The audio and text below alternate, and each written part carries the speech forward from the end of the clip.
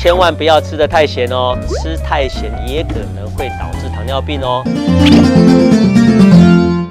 嗨，各位朋友，大家好。你可能知道什么样的人会得糖尿病？比如说过度肥胖的人，或是吃太多甜的食物，一直吃一直吃的人，都是有可能会得到糖尿病。但是你知道吗？吃太咸的食物也可能会导致糖尿病哦。根据研究，如果食物一直服用过咸的话，增加糖尿病的几率是比正常人多了百分之四十哦。为什么会这样子呢？大家一定觉得很奇怪。首先，盐这个东西会刺激饥饿素的分泌，所以吃太咸的食物，自然会让你觉得饥饿，会让你吃的东西比一般人多。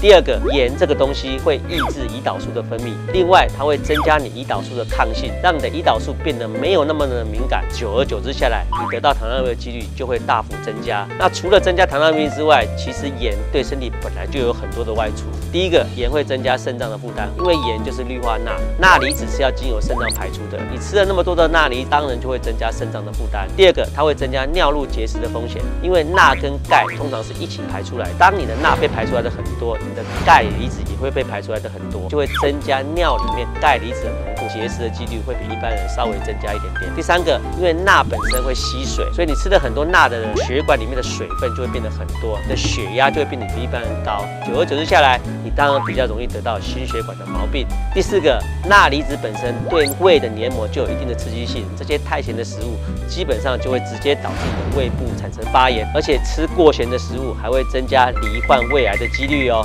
那你要怎样知道你吃的东西会太咸呢？第一个，你的身体就会水肿，因为的血管里面的水分太多了，它会渗到你的血管外面去，就会造成你身体的一些水肿。第二个就是频尿，钠离子会从肾脏里面排出来，你吃太咸，肾脏会不断的帮你去排钠，你就会有很多的水分被从你的尿里面一直带出来，所以就有频尿的症状。第三个，因为你吃了太多太咸的东西，你血液里面的钠离子含量是高的，你身体会自然反射，会让你一直想要去喝水，所以你就会一直觉得我怎样喝水都有口干舌燥的感觉，所以千万不要吃的太咸哦。除了会让你高血压之外，它有可能会让你得到糖尿病哦。虽然这个观念很多人都有，但是很多人会不小心吃到隐性的盐分，因为在很多的加工食物当中，你会看不出来它加了很多盐，比如说一些火腿加工的面包、加工的面粉。所以我建议大家还是要清淡的饮食，小心隐藏的盐分。姜屁一件事，关心健康所有事。